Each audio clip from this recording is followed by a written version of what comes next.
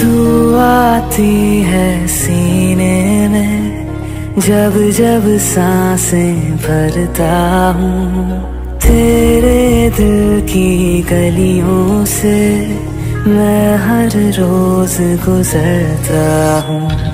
हवा के जैसे चलती है तू, मैं रेत जैसे उड़ता हूँ।